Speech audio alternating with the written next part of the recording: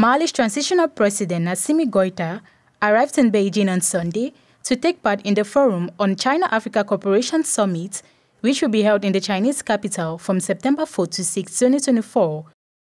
On arrival, he was received by his Chinese counterpart Xi Jinping on Monday. The two leaders jointly announced the decision to elevate bilateral relations to the level of strategic partnership.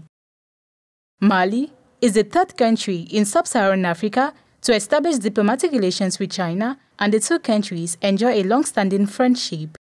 The two sides have closely cooperated in multilateral forums such as the United Nations Security Council to safeguard the common interests of developing countries.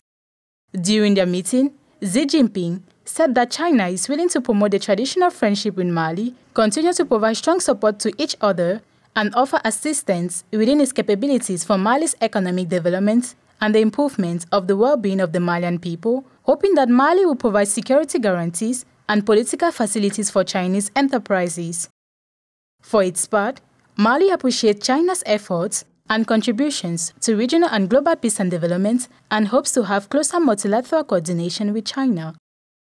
Colonel Assimi Goita's participation in the FOCAC summit aims not only to consolidate existing partnerships, but also to explore new opportunities for cooperation, as this is a strategic opportunity for Mali to strengthen its position on the international stage.